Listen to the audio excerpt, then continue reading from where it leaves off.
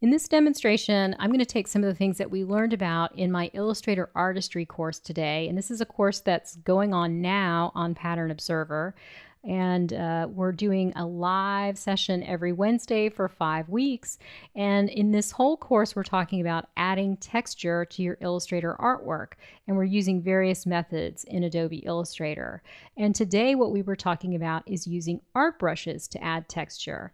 And so these are a few quick things that you can take uh, from where we left off today. So what I have here is a leaf that I created in Adobe Fresco. Fresco vector brushes operate kind of like the blob brush in Illustrator. So you can create these nice filled shapes and they have a little bit of a natural edge to them. And I really love working with these. Then what you can do is bring them into Illustrator by using the Send to Illustrator option, and that's up in the upper right-hand corner. That is where all the export options are.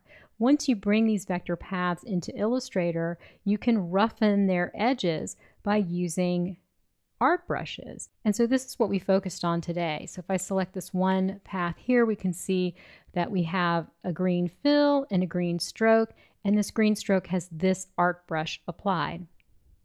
Now, art brushes stretch artwork along the length of the path. And this is a pretty long path because it's going all the way around the edge of this leaf. And so you can see that I have maybe more subtle texture here, but when I click on this really textural brush, we're going to see even more texture. So using various size art brushes are a great way of dialing in exactly the amount of texture you want on your paths. And this is one of the things that makes working in Illustrator so great because you pretty much have endless options and they're all completely scalable. So this can be look exactly the same no matter how small or how big I make it.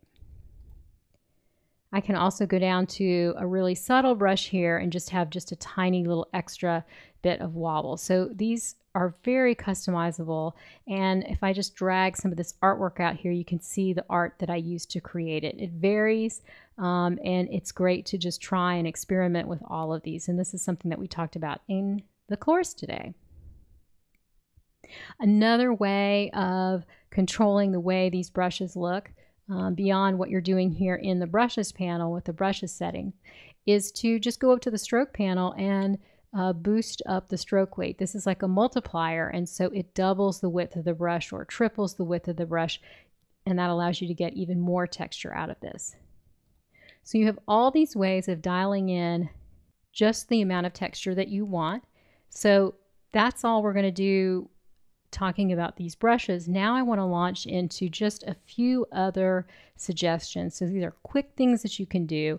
We're going to use recolor artwork, we're going to use symbols, and we're going to create a pattern. So we'll start with recolor artwork.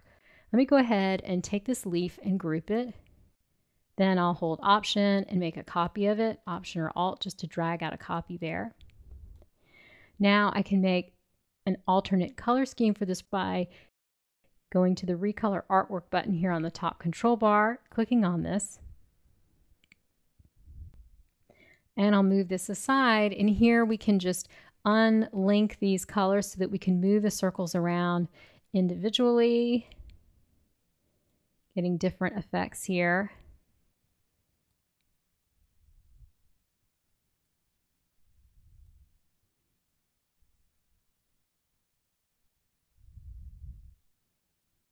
And then if you're not finding the color that you want, you can always double click on this and then you can really dial in by just using the color picker here. So I just want something a little bit more bright here. And if you don't see that change take place, just click again. Sometimes it takes a second to wake recolor artwork up. So if I found a color scheme that I like, I'm just going to click here on the artboard to exit recolor artwork and now I have a new leaf. Now I'm going to move over here because the next thing we're going to do is make a pattern, but I'm going to start out by using symbols. And the reason I like to use symbols is because they just add a lot of flexibility. So let me go back and get this leaf here, and I'm going to go ahead and create a symbol just by dragging it into the symbols panel like this, and I'll just leave all of these options as they are. These are just the default options, and I'll click OK. So as you can see now, I have a few different leaf symbols here and these symbols will work really well in pattern editing mode if I wanted to make a pattern that way. But the downside of using pattern editing mode is that it can be kind of slow performance. When you're working with art that has a lot of brushes applied to it or texture or that sort of thing. So I like to use just uh, the the tried and true method of making a pattern um, out on the artboard so let's do that here I have a square. This is going to be the size of my pattern tile and it's also providing a colored background for this pattern. And then I'm going to go up here to my transform panel and just show you that the width is 700 pixels and the height is 700 pixels. And so I want every single corner here to be exactly the same. So I'm going to start with this art here this leaf here is on the upper left corner and we can see it's a symbol instance because it's got a little plus sign in the middle. So all I did here was just drag this symbol out here and um, place it over here. All right, now I'm going to delete that. Now what I want to do is go over into preferences. This is Command or Control K and make sure that you set up your keyboard increment so it's exactly the size of your square. So I've got 700 pixels here. What this allows me to do is to just take this um, leaf here, copy, paste in front. So that's Command or Control C, Command or Control F. That places a copy directly in front of the original.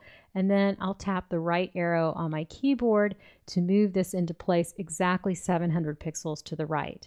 So now I've got these in exactly the same position on the corners. Now let me go ahead and copy both of these down to the corners below. So this time I'm going to use the down arrow that's uh, to go 700 pixels down. But what I want to do as I do this is hold on to the Option or Alt key. So once I hold Option and then tap the down arrow, I've made a copy and I've moved those two copies 700 pixels down. So now all of my corners are exactly the same. And then this is another leaf in a different color scheme here. And as long as it doesn't cross any of these edges here, it's going to be fine just sitting here in the middle. Now, when you make a pattern, I call it the old fashioned way, just by dragging art into the swatches panel to make a pattern fill swatch, one thing you really have to do, and let me make sure I don't have one here already. Yep, I don't. Okay, one thing you really have to do is, is place a no fill, no stroke bounding shape at the bottom of the stacking order of all of these shapes here. It's kind of like the reverse of a clipping mask. I'll go ahead and make a copy of this square and that, that's just Command or Control C and Command or Control F and I'll just move this to the side to show you I use my right arrow. It's moved over 700 pixels to the right. Now I'm going to make sure that I change this fill to none by clicking on the slash icon. So this is a no fill, no stroke bounding shape. It's going to function kind of like a clipping mask, but very important, it has to be at the back of the stacking order. So I'm going to go ahead and move it to the back using Command or Control Shift left bracket and then I can nudge it back into place. You can also find those arrange commands right here in the properties panel. Now that I have all of my art with that no fill, no stroke bounding shape in the background, then I can just take this and I'm going to group it. I like to group it in case I drop it. And I'm going to move it over here into the swatches panel and that's going to create my fill swatch. So now what I can do is create, I've got leaves everywhere, is create a rectangle and make sure that the fill is active and then click on this and fill it with your pattern. So once you create a pattern fill like this, the art that's contained within the pattern is all expanded. If I were to click and just expand, like right now, if I go into Command or Control Y, we don't see anything inside of this art. Um, but if I were to expand this, this is going to be crazy. Object expand. Okay, now if I go Command or Control Y, all of these leaves are expanded, that brush art is expanded. And this is what happens when you use pattern editing mode as well. Um, so one of the things I like about using symbols like this is, yes, that pattern art might be expanded. But if I edit this right here uh, using the symbols, then I can go back, drag this back into the panel, make another pattern fill swatch, and still have the changes that I made. So one of the great things about using symbols is that you can easily make changes to things. So each one of these um, symbols right here, these instances are just identical copies of the symbol. If I go into the symbols panel, it looks like it's this symbol right here because everything's grouped together. I need to pull that apart. Okay, so now that I've selected this symbol, I want to go ahead and edit it. Um, so you can either just double click here, um, you can click on the edit symbol link, you can double click here. However you do that, I'm going to double click here. Illustrator is going to take you into symbol editing mode. And now I've got this one symbol isolated. And maybe I've decided, okay, well, yeah, I think that this stem is a little too rough. Let me go over to my brushes panel. I've got that stem selected. I can see I've got the really rough brush here. Let me go down to this brush and I like that better already.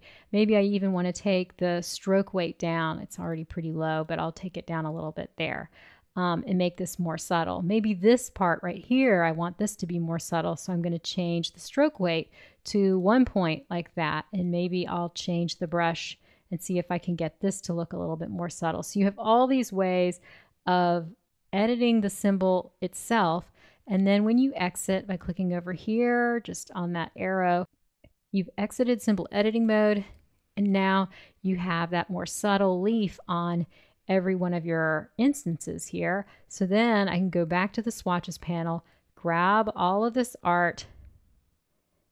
I'm going to group it. I always do. And then just drag it in. I don't even think it's necessary to group it. Um, and then go here and apply that pattern fill swatch. So we can see the difference between the pattern that I just created, maybe with more subtle red leaves, and then this one with a little bit more textural red leaves. I don't know if you can see this when I zoom in, but those red leaves are uh, the stems, and this area is really textural, and over here, they're more subtle. So symbols allow you to make some really quick edits like that. So what we've been using is symbols and recolor artwork and brushes in Illustrator and just sort of piled all those techniques on top of each other in order to make working with art really fast and really flexible. So week one in Illustrator Artistry is all about adding texture by using art brushes. Next week, we're going to be talking about using bitmap TIFFs and place textures in Adobe Illustrator. This is a five week course at Pattern Observer. So go to patternobserver.com for more information. This is all happening in September and early October of 2021. So there's still time to join us. And I hope you will. Thanks for watching.